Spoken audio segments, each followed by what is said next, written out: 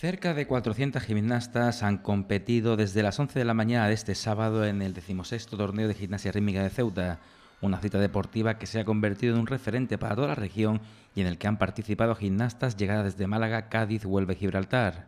Pues sí, hombre, la verdad que, como digo siempre, nosotros lo hacemos todo con muchas ganas y con, mucha colaboración, de, tanto de la ciudad, bueno, aparte de que la prueba es de ellos, ¿no? Y la verdad de los padres que nos han ayudado mucho.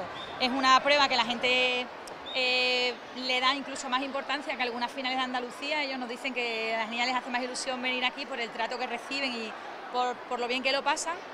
También el tema del barco es algo nuevo para muchas de ellas y, bueno, eh, han sido 15 clubes participantes y casi, bueno, 800 personas entre entre familiares y deportistas. Desde primera hora de la mañana de este sábado, la pista de Guillermo Molina rebosa alegría y entusiasmo el de las cerca de 400 gimnastas que compiten en el decimosexto torneo de gimnasia rítmica de Ceuta, una cita que se ha ido consolidando y que ya es una cita clave que no se quiere perder ninguna gimnasta de la zona. Así lo demuestra el hecho de que desde Ceuta se hayan desplazado con motivo de esta cita 153 gimnastas de Cádiz 97 de Málaga, 50 de Huelva y 25 de Gibraltar, a las que se suman las 44 gimnastas locales. Desde las 11 de la mañana, ahora la que ha comenzado las competiciones por equipo, el Guillermo Molina ha presentado un ambiente de gala para animar a estas deportistas. Sí, la verdad que hay ciudades que tienen muchísimo mérito, por ejemplo los clubes de Huelva, que han venido dos, han salido a las 3 de la mañana de Huelva y, y bueno, hemos visto a estas niñas tan pequeñitas desde la hora que llevan levantadas y y han competido. Creo que son un ejemplo a seguir para muchísimos deportistas.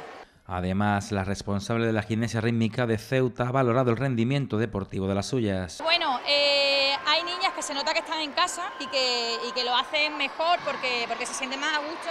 Y es verdad que hay otras cuando son más mayorcitas que, que al verles gente que no vienen a verlos normalmente pues se sienten un poco más intimidadas. Pero bueno, el resultado eh, yo creo que ha sido muy bueno y bueno, eh, se nota también que estamos ya casi a finales de mayo, que llevan ya cuatro meses compitiendo. En definitiva, un día en el que la gimnasia rítmica ha sido una de las grandes protagonistas de nuestra ciudad, volviendo a demostrar el gran trabajo que se está realizando desde la base que permite a la gimnasta ceutíes seguir cosechando éxitos allá donde vayan.